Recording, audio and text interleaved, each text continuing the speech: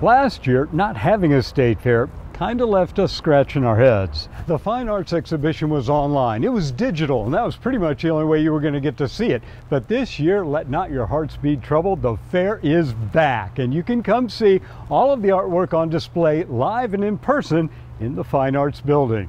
Bounce back year for entries. Last year we were down a bit, uh, about 1,700, which was understandable given the current conditions. I found no shortage of talent from the Northwest Metro. This year we had over 2,400 entries. And from those 2,400 plus entries that were submitted, there are 321 that were accepted for display across eight classes of competition, that is, categories. All of the artists have their respective cities next to their names. We have a great representation of artists in that uh, Northwest Metro area. In fact, right behind you, Neil, is a work by Rachel Arnson, a mosaic, and she's from Maple Grove. It is really an interesting cross section of the state. You'll see everything from the sublimely beautiful to the questioningly quizzical to the truly bizarre. It runs the full spectrum of materiality and subject matter. The amount of work that it takes to sift through the submission process and then accept and hang the selections is monumental. The hours put in by Jim and his staff at the Fine Arts Building are considerable.